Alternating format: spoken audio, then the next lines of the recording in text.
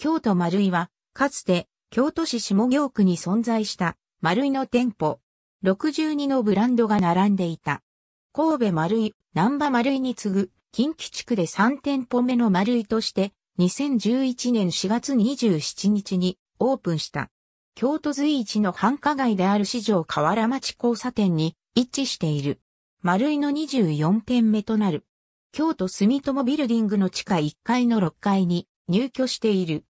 なお同ビル7.8階にはレストラン街があり、当初は阪急商業開発が運営するモザイクダイニング市場河原町が入居していたが、2017年7月12日からは、住友不動産が運営するフードホールに転換した。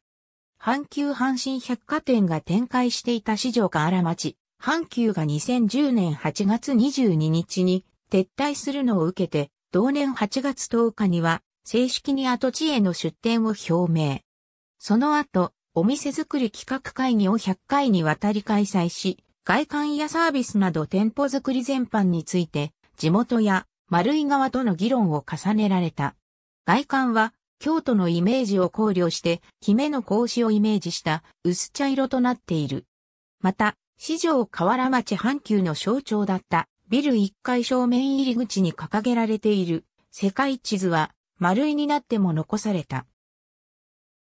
市場河原町エリアにおいてはすぐ横に高島や京都店があるほか、2019年12月には、京阪グループの大型複合商業施設、グッドネイチャーステーションが河原町にオープンするなど、営業活動を継続するのに厳しい環境にあったため、2020年5月末に住友不動産との契約満了に伴い閉店する予定だったが、新型コロナウイルス感染症の流行に伴い、同年4月8日に臨時休業し、そのまま前倒しする形で5月12日に閉店した。